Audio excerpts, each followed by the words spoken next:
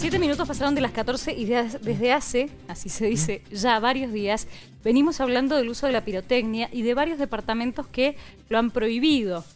¿Cuál es la situación del departamento San Carlos? Estuvo el intendente Jorge Difonso dando precisiones con respecto a cuál es la postura que han tomado ellos y explicando el por qué. Principalmente hay departamentos que han prohibido la pirotecnia, pero se vende ilegalmente y el ruido es lo mismo. En cambio dice, prefiero la venta libre y que el municipio haga de contralor. Lo vamos a escuchar la palabra de Difonso hablando de la pirotecnia en San Carlos.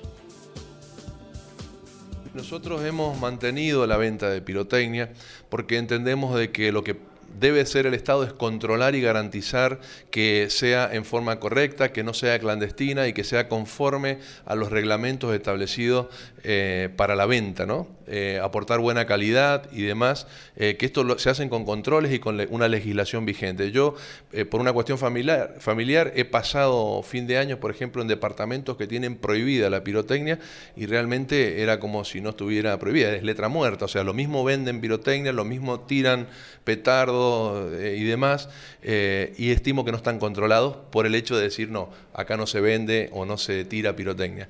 Nosotros en San Carlos queremos controlarlo, queremos que eso sea en forma responsable.